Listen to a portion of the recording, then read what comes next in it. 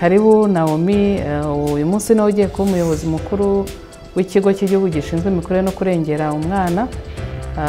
Tugutegura nk'umwana w'umukobwa kuzaba nawe umuyobozi. Tukaba ariko uyu munsi ntabwo akazi tugakora hano muri ofisi mu biro. Tugiye kujya kuri terrain aho tugiye kuganiriza abana b'abakobwa ndetse n'abasaza babo.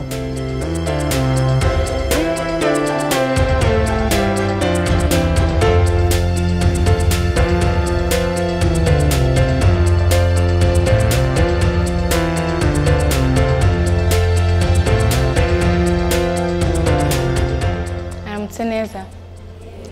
Amazina yanjye nitwa Uwitonze Naomi. Muri aka kanya akaba ari njye muyobozi ushinzwe imikurire no kurengera abana mu gihugu.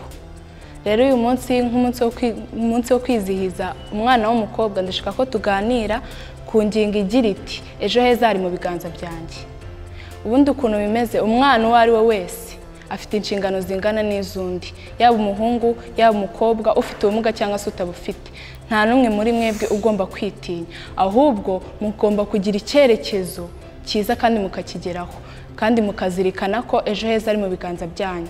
Twumvire abayobozi bacu duharanire gutsinda tube attentive mu ishuri kugira ngo tugire ejo heza. Intego ni ejo heza kuko ni mwebwe muhafite mu biganza byanyu.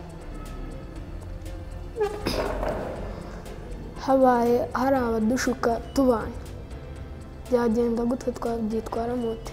Iyo ubona umuntu agushuka wihutira kubibwira umubyeyi wawe cyangwa se ukurera kugira ngo bikumirwe hakiri kare. Cyangwa se ukaba wanahamagara ku murongo utishyurwa ari we karindwi rimwe rimwe w'ikigo gishinzwe kureberera umwana mu gihugu. Ejo heza.